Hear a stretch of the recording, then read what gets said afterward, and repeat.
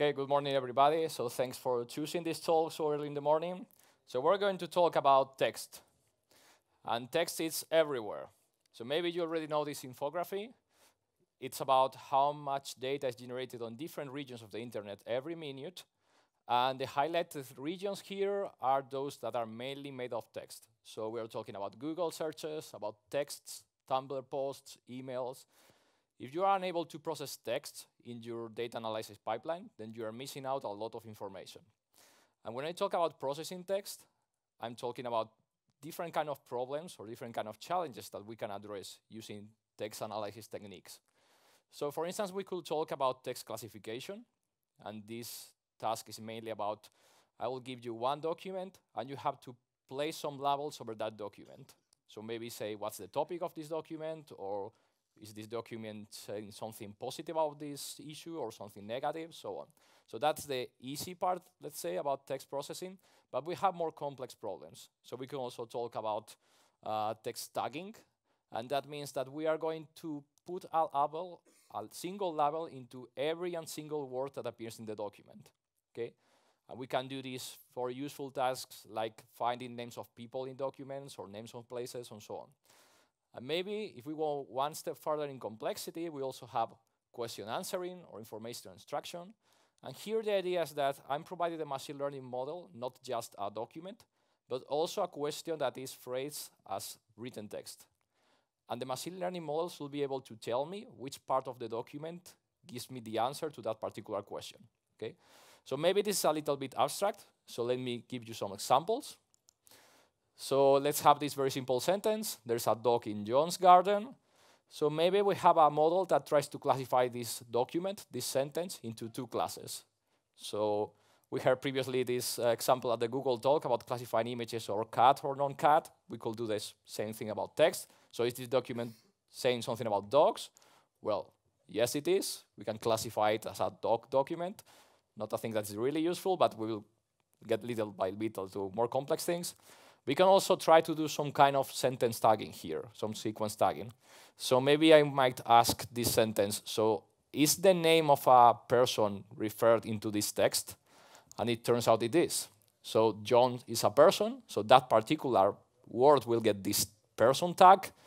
And the other tokens here have nothing interesting, so they will be remain empty. And as I said, we can also try to do some kind of question answering. So I might ask this document, well, where is the dog exactly?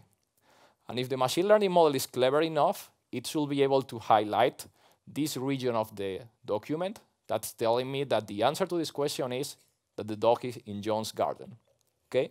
So these are the kind of tasks that we can try to solve today. There are other ones like translation and so on, but I'm going to focus on these ones. And what I will do in this talk is try to apply a different set of techniques from very simple to more complex to a very specific problem. So it will be this problem. This comes from a Kaggle competition that took, year, took place two years ago, and it's about classifying comments found in the internet by their levels of toxicity. So this means the data set looks like this. So we have a single piece of text for each document, and we have to tell whether it contains any of these six types of toxicity. It can range from uh, toxic to severe toxic, obscene, threat, insult, identity hate. And this is a multi-label problem. Multi-label means that each of these kinds of toxicity might appear on its own or combined with other, or maybe we have texts in which all of them appear at the same time, or maybe none at all. So we have all these possible combinations. Fortunately, for this challenge, we had a lot of data to train on. So we have about 160,000 training texts, so that's quite a huge data set, right? And we also have more or less the same quantity for testing, okay? So when this competition appeared on Kaggle, what did everybody start doing? So deep learning, everything, okay? Whenever you face a complex uh, multimedia problem, deep learning is the way to go. So everybody try this, and you can actually get very good results for that. You won't win this competition, because for winning you will need to do a lot of very clever feature engineering and, well, handle your data to get some more synthetic samples and so on. But if you do that, you can more or less do something useful. Now, the problem is that I'm here to talk about real world problems, not about Kaggle competitions. Kaggle is very nice, but the real world is very different. The thing with the real world is like, it looks like this. So welcome to Arrakis. Maybe there are some Frank Herbert's Dune fans around here. So what's the th thing with Arrakis? You don't have data. So maybe your data lake looks like this. So it's an empty can in the desert. There's no data to be found. So that's an issue. Now you can't train very large machine learning models because you have no data. And by the way, since we are in Arrakis, for those of you that work in the data engineering part, you will also find sometimes that you have some terrible bugs in production, right? That's a different issue. I won't address that on this talk, but I just wanted to refer it. Okay, so instead of working with this data, which might be not so realistic for industry problems, we are going to apply some real-world filter here, and now we only have 1,600 training data points. Okay, that's about it. That's a more reasonable data set for a real world problem. I will, still, I will still keep the whole test data because I want to show you that the methods I will try generalize well enough. Okay? But I will only use the test data just to measure the accuracy, right? I will use all the methods on the train text only. And by the way, all the code I use for this talk is publicly available on GitHub. So you can just follow this link, or if you look for my name and big things on GitHub, you will right away find it. Okay? So how do we solve this problem? Well, let's start with the very basic stuff. Okay? So we can build a baseline model, and on top of that, we will see how we can improve this using more recent uh, natural language processing techniques. So probably the most simple thing that you can do is, well, you can't just take some text and input it into a machine learning model. You have to do some kind of feature engineering. So the simplest feature engineering method you can do is bag of words. And what does this mean? Well, essentially, you will take your training data and build a dictionary with each and one of the words that appear in your training data. And you will assign a single number, a unique number to each one of those words. So when a document arrives to your system, you will build a very large binary vector, which one input for each one of your words. And the way you will codify your document in that vector is just by placing a one in the position of each word that appears in the document, and the rest of the vectors will be all zeros. So to say this differently, what you're doing essentially is building a vector that tells you which kind of words appears in this particular document or that particular document and so on. This is very simple, but if we do this, we already have a feature vector, a fixed length feature vector that can represent any document in our data. And once you have that, you have a very pretty nicely framed data frame. You can already use a standard machine learning model like random forest, and you get a result. You can do a step to improve this a little bit, which is instead of using the simple bag of words methods, which just takes a look at each one of the words independently, you could take a look at a couple of words that appear together, or triplets of words that appear together. You, should, you could still use this hashing, uh, the, this bag of words technique for that, but the problem is that this uh, binary vector will grow very, very, very large. So to avoid that and getting, get something that works efficiently, you can use this other technique that is called the hashing trick. And you can think of it as a way of compressing the bag of words representation. Okay? But the idea is the same. You will make a dictionary, and here you will take note of what kind of groups of two words and three words appear in your data. And now, since your feature vector is so large, maybe a random forest is not such a good idea. You might use a linear SVM, which is a model that works very well in high-dimensional spaces. Okay? So this is the theory, but implementing this in Python is really, really easy. You just need to use scikit-learn, and this is the code. I'm skipping the messy code that deals with the data cleaning and so on, but the code for your model is just this one. So you just need, for the, for the bag of words plus the random forest model, you just define a scikit-learn pipeline, use this count vectorizer transformer, which implements the bag of words stuff, and then you apply the random forest model, and that's about it, right? If you want to use the more advanced technique here using the hashing vectorizer, well, essentially you just need to replace the count vectorizer here by a hashing vectorizer model here. There are also some not so nice uh, things about using a linear SVM because it doesn't really fit into the multi-label uh, model that we are trying to build here. So you need to have some wrappers, but the key idea is that you just define a transformer and a model, and that's about it. That's very simple. If you do this, you can train these models with your handful of training data, and then you get these results for the test data. This problem is fortunately very unbalanced. And I say fortunately because most of the comments you find on the internet are non-toxic. And that means we can't really use the accuracy to measure accuracy on this problem because that will be way too balanced to the negative class. So what we do is we measure the area under the ROC curve. And what happens here is that, well, we can see that you can get about an 86% of, of AUC using the simple method. And if you use the hashing vectorizer, which takes into account couples and triplets of words, then it works a little bit better. Okay? So that's not so bad for the first test. But as I said, this is the baseline. I want to introduce more modern text analysis techniques, and we will see how we can apply this still if we have so few training data. So the first technique I want to talk about are embeddings.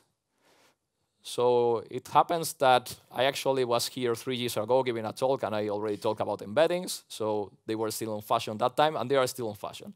So what's an embedding about? What's really about it? The idea is to represent each word with a vector of features that the model can learn by itself, instead of using a fixed binary vector. So let me show you how this works. We have a word like dog, and the first step that we will do is just pass it to the, through the bag of words model. So there's nothing special here. We just have a dictionary of words, and this dictionary will tell you that dog is the 20th word in the dictionary, so you will represent dog as a binary vector in which everything is zeros except for a 20th position in which you have a 1. So sometimes these kind of vectors that have all zeros but one position in which you have a 1 are called one-hot encoding vectors. Okay? That's the traditional representation in the bag of words model, but the advantage, the, the key idea that the embeddings provide is that now you're going to compute the product of this vector with a weights matrix. And now something interesting happens here. Because how do you compute the product of a vector with a matrix? Essentially, you take the vector and you will multiply it column by column with the matrix, okay? But if you do that with a vector that, has, that contains all zeros but one position, essentially what you're doing is, well, all these entries here will be get multiplied by zero, so they disappear, and all the entries here also get multiplied by zero, they also disappear, and this one here, the one that corresponds to the 20th position, the one that corresponded to the dog uh, to the index of the dog word, they will be this will be multiplied by 1. So essentially multiplying this vector by this column just means take this value. Okay? You do the same with the second column and the third column and so on. So actually this vector matrix product, the operation is really doing is just getting that vector. So just, just picking that row from the embedding matrix, and that will be your representation for your word. Now, what's why is this so fancy? What's the, what's the interesting point of doing all this linear algebra? Well, the key thing is we are actually implementing an operation that is able to select a row from a matrix, but since we implement this as a matrix product, this operation is differentiable, and everything is beautiful. Why is it so great for an operation to be differentiable? If you know a little bit about how neural networks work, it's because when you have operations in a neural network which, for which you can compute the, the derivatives, they are differentiable, then you can make the neural network optimize the parameters of that part of the network. So that means that with this idea, we can build a neural network model that looks like this. So first we have our text. We will apply some tokenizing procedure to get each one of the words of that text. And then we have this embedded layer. And this embedding layer will perform this operation we have just seen. Just take each token and replace it by its corresponding embedding vector. But now this matrix, this embedding matrix that we have been discussing before will be a parameter of this layer. So what will happen now? After that, we will need to take all the embeddings for each word of the document and summarize all of them in some way. So probably the simplest way of doing this is just by computing the average. So that means let's take the average median of all the document. And after that, you have a fixed dimensional vector.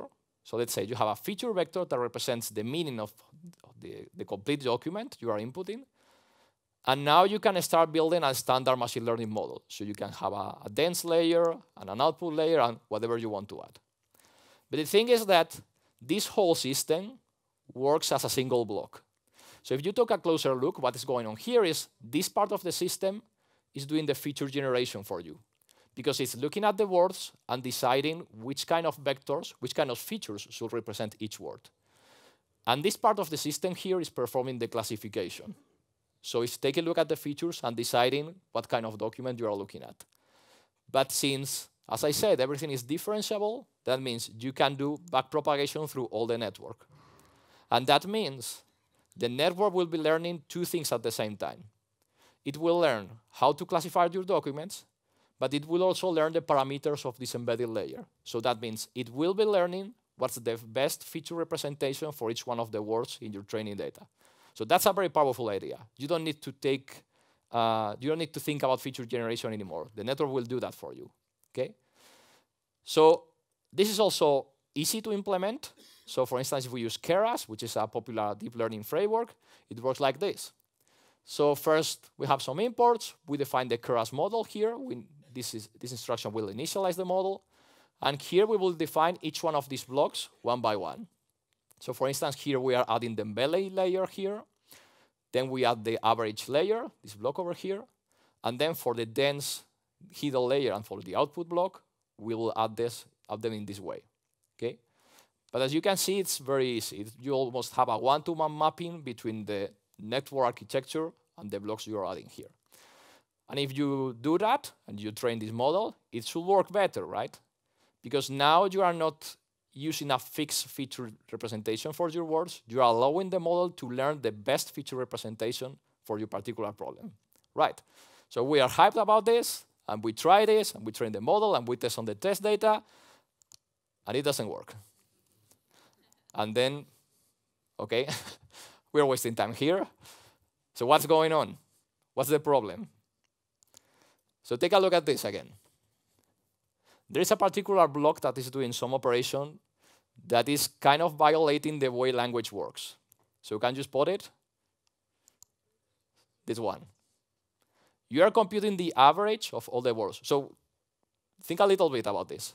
So what you're telling the model here is, well, you can get the meaning of each one of your words, you compute the average of all of those meanings, and that's the meaning of the whole sentence. And language doesn't really work like that. To give you a more precise example, this model can tell the difference between these sentences. Because it doesn't take order into account. It's just computing the average. Average is an operation that does not take order into account. So we need something better. So what can we do? Well, we can use what is called a mixing model. We have the embedded layer, which tells us which, which uh, vector better represents each word. But now instead of computing the average of all the embeddings, what we will do is add a mixing model. And the mixing model is an operation that I will discuss in a while that tries to compute some kind of merge of all these vectors, but in a way that really takes into account the way these tokens were written, these words were written. Okay. Still, after this mixing model, you will again have a fixed feature vector for a single, uh, let's say a fixed length feature vector for all your document, and then after that you can add the usual neural network layers. Okay. So usually, what you will do for the mixing block is use a recurrent layer. So maybe you have heard about LSTM layers that were quite popular in recent years. Now what most people are using are GRU layers. But the key idea of these layers is that they will compute a mixing of your embeddings step by step. So they will take the embedding for the first word, mix it with the second word, and you get a new mixture. Then you take that mixture and mix it with the embedding for the third word. And then that new mixture will be mixed with the fourth and so on. If you do this step by step, this looks more similar to the way we work with language. We'll read from left to right, right? So that's the idea. And again, you can do this in Keras. So in particular, a nice way of implementing the mixing model is by combining two layers. So what we do first is we define a GRU layer with a bidirectional wrapper. Bidirectional essentially means that the network will read the sentence two times. First from left to right, and then from right to left. And after this mixing, you will get a new embedding vector for each one of the words in the input sentence. So each one of these vectors is now a mixture of the word and those that appear on its right and those that appear on its left. Okay, that's the idea. And after that, you again do the average. But the difference with the previous structure is that before we just computed the average straight away, and now we are allowing these embeddings vectors to mix a little bit between themselves because computing the average. Okay? So again, the code is down there. It looks very similar to what I showed before. The only big difference is that now uh, we have this GRU layer here, and we add this bidirectional wrapper to make it work both ways. And after that, we have the global average pooling like we had before. Okay. Now again, we trained this model with the data. You tried it on the test data, and now it works. Yeah, great. But there's a subtle question here, which is, well, why is it working now? Is it because the mixing model is great? But the ideas about the embedding was also a very nice idea, and it didn't seem to work out. So are the embeddings really helping? Maybe if we just replace the embedding with a bag of words feature generation, that's okay. Well, to answer this question, we have to do a step back and think a little bit more about the general framework. So let me tell you about a little bit about language models. So this is a different problem completely. What, what with, uh, it's not related with the problem I have been talking about, about toxicity. It's a more general way of thinking about language. So a language model is some kind of function, some kind of model, neural network, whatever, for which you can provide a sentence and it will tell you what's the probability of that sentence appearing in the language. Okay? So as you have a sentence for an English language model, like a black dog, this will tell you that this sentence is quite possible. Maybe it will give you, well, this sentence has a chance of, I don't know, 75% of appearing. Okay. If you get a random sentence, like blah, blah, blah, blah, ASDF, I don't know, it will tell you, well, this has very low probability. Okay. Well, let's try to train such a model. So there are two issues when training a model. First, you have to take, uh, you have to get hold of a training data set, and then you have to decide which kind of model you are going to use, neural network, whatever. But actually, the first problem is very easy to solve because you can train from everything, absolutely everything. Because what's your training data here? You need real examples of language use. That's it. You don't need label data. You just need sentences that were written by real people. So for instance, you can download the whole Wikipedia or Twitter or even use Common Crawl, which is a, essentially a backup of the internet. So you can train with the whole internet. You can do that. Great, we have an unlimited amount of data. Now, how do we train the model? Well, we can use the same ideas we have been discussed so far. And here the key trick is to use this probability decomposition. So I said, well, a language model is essentially a model that computes the probability of a sentence. But a sentence is made of words. And by using probability rules, we can write this uh, probability in, in this way. So the probability of the whole sentence is actually the probability of the first word times the probability of the second word, given that we have already seen the first word, and then the probability of the third word, given that we have already seen the first and the second word, and so on. And if you look at take a look at the problem in this form,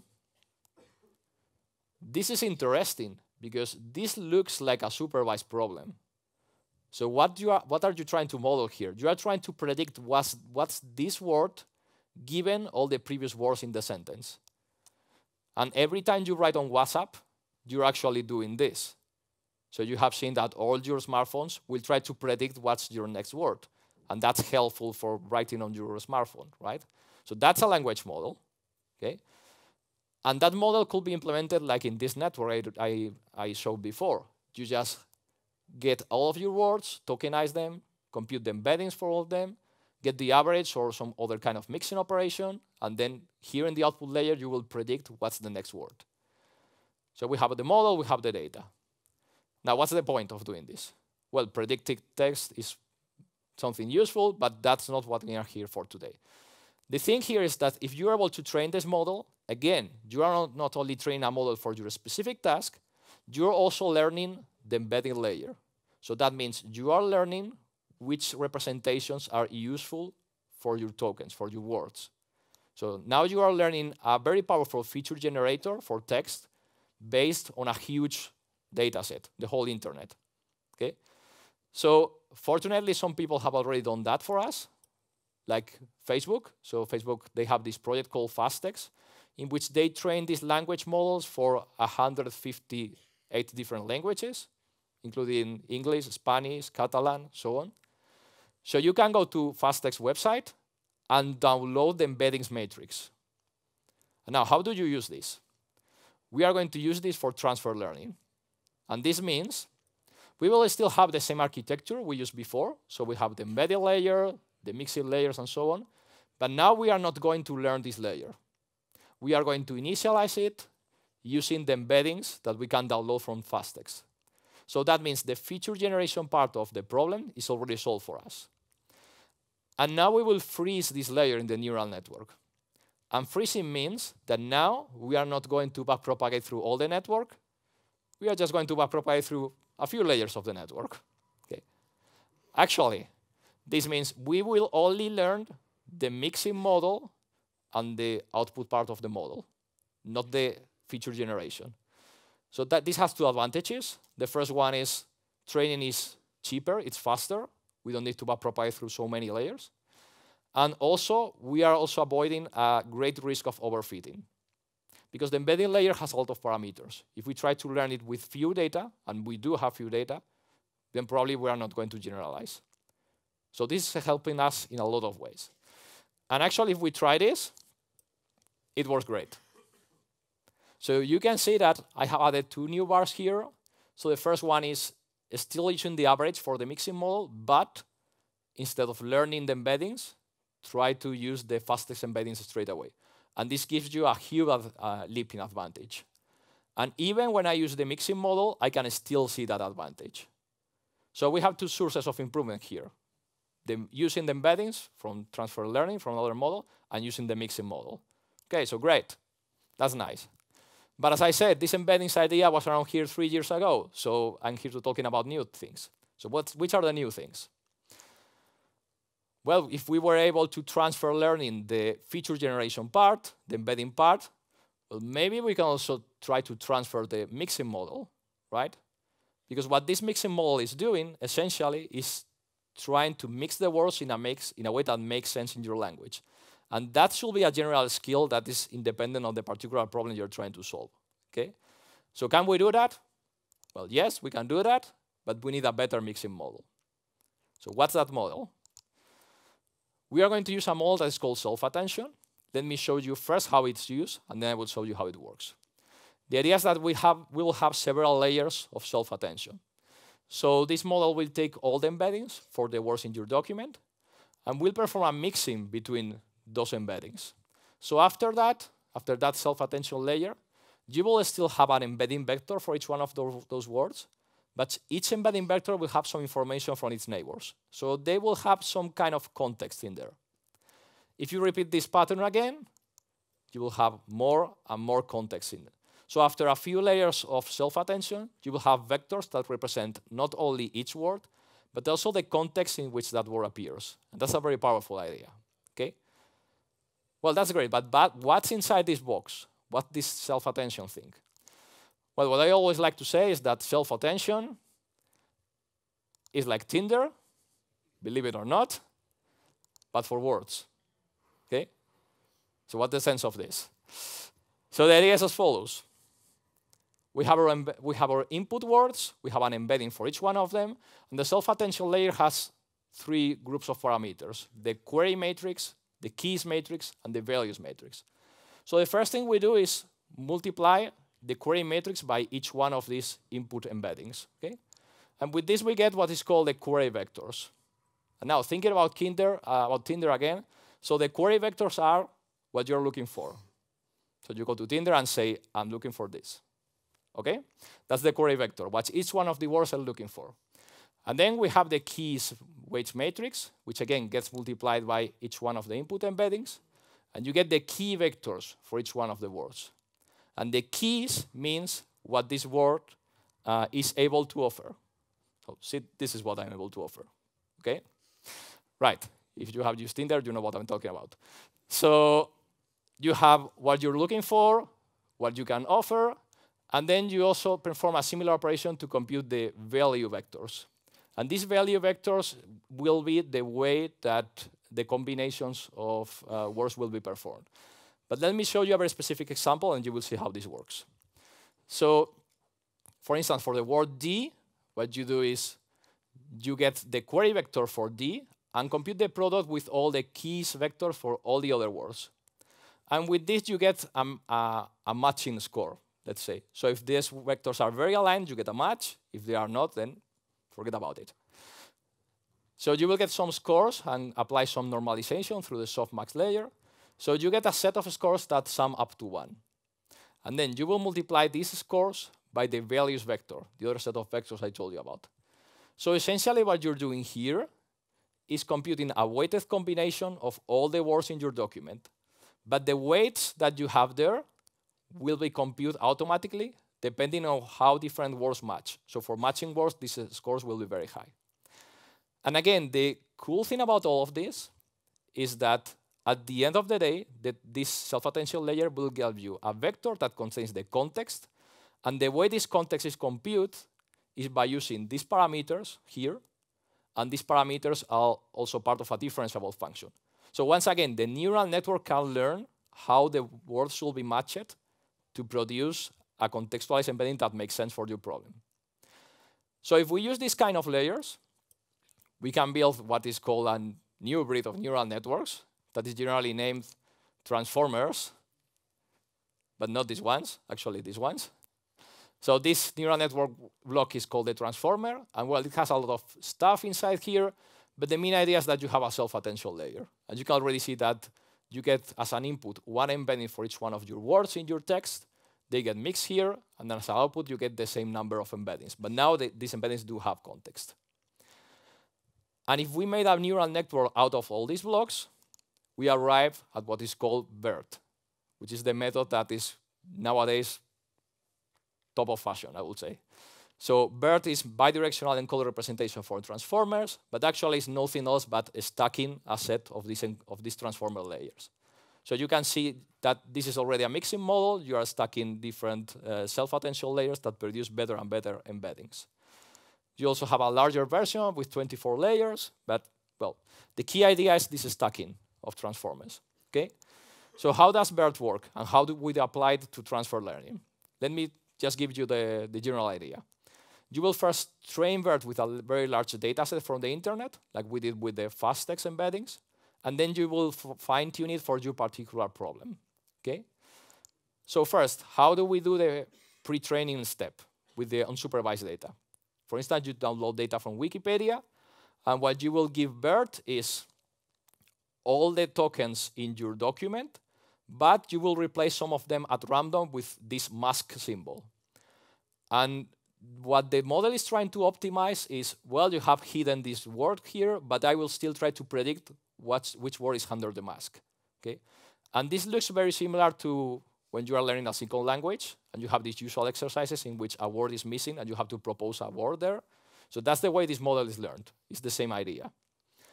And you will see that there are some special symbols that appear here at the beginning, this CLS symbol. This is added by BERT automatically to all of your sentences. And this symbol will kind of summarize all the information that your sentence has. Okay? Well, you train BERT this way, and then you will fine-tune it to your particular problem. So fine-tuning means that you input your document through BERT, you will get the output embedding that was created for this CLS symbol. So this embedding should represent all the information in your text.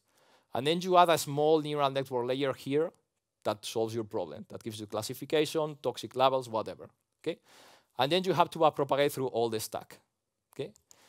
So now the model we have is we have the document, we apply the BERT tokenizer that includes this CLS token. Everything goes through BERT, but we get a single embedding that represents everything. And then we have an output layer that's a small layer that solves a particular problem.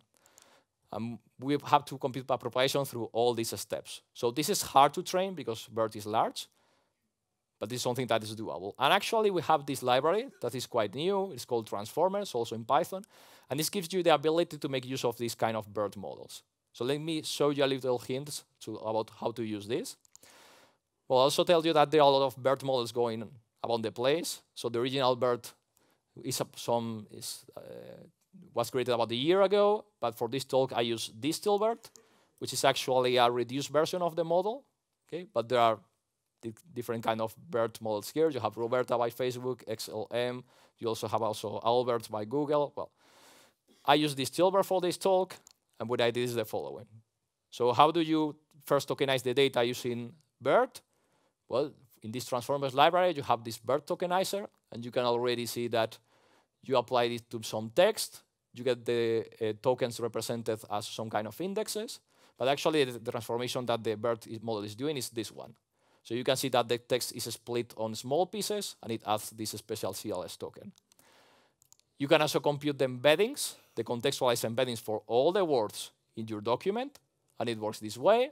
Okay, there's a little bit of torch boilerplate here, but essentially you input a sentence, and then you get one row, one embedding, one vector of values for each one of your words. And I would like to say that training is also very easy, like in scikit-learn or Keras, but it's not. Unfortunately, this works the PyTorch way. If you have a by PyTorch, you know that you have to write your own training loop. You have to go through all the batches, compute the backpropagation, and so on. So I won't give you the specifics on how this works. But again, you have all the details in my GitHub repo. So I will just show you the results. And it works very well. It was really, really well. So the only thing I did here, again, is I'm not only transferring the embeddings, I'm also transferring the mixing model, which in this case is BERT. Just by doing a little bit of fine tuning, and by a little bit I mean just running for backpropagation epochs, you already get re this result. Well, maybe some of you is thinking that, well, you know, from here to here, there wasn't really a very large change. You have been 15 minutes talking about mixing models and so on. But, you know, we are so close to having perfect accuracy here. So this improvement is not trivial, right? So we can take a lot of uh, things, we can take a lot of value from these pre-trained models, even if we have very, very little training data. We can adapt these very large models for a setting. So what's the key takeaway from this talk? Well, the key takeaway is that in life, you need to be lazy. The less you do, the most you get. Well, no, no, not really the key idea is you have to use pre-trained models because you don't want your model to learn how language works, how your whole language works, just with your very small training data set. You will better train, get a large trained model that learned how your language really works, and they'll fine tune it a little bit with your data so that it fulfills your specific task. Okay? So my main idea here was to give you this message and also to get you hyped so you go straight to my GitHub repo and test these ideas and see that they really work. Okay, so I hope I have packed your interest, and if you have any questions, we still have two minutes for that. So thank you for everything.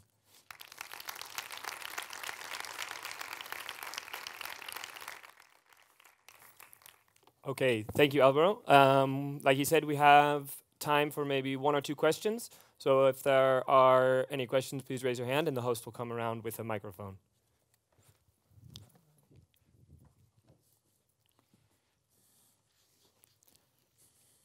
Uh, hi, very nice talk, Alvaro. Um, question: Does BERT support uh, multilingual scenarios if my text is comes from different languages? Okay, that's a very nice question.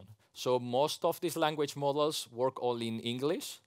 There is also a BERT uh, model for German and Chinese, I think.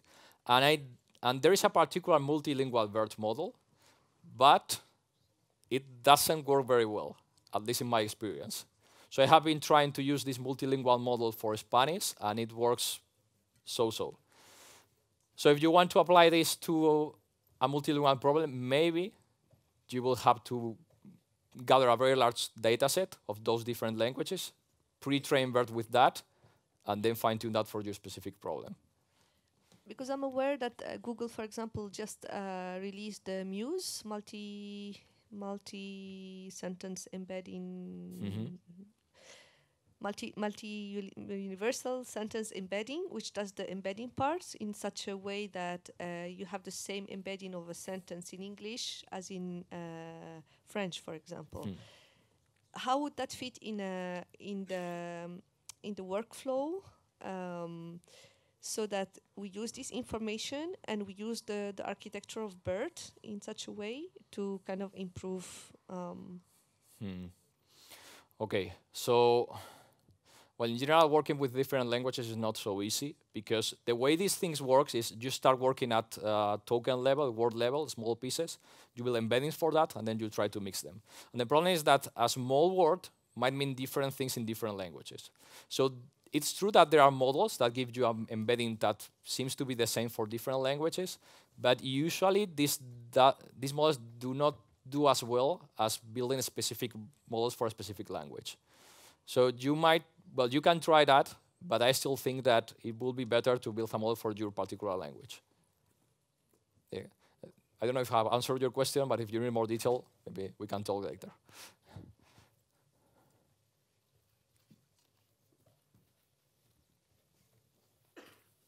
okay. Any other question?